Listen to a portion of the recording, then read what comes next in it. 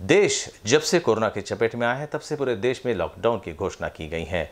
इस लॉकडाउन से मजदूरी करने वाले और साथ ही बाहर गाँव से पढ़ाई करने शहर में आए छात्रों को खाना नहीं मिल रहा है।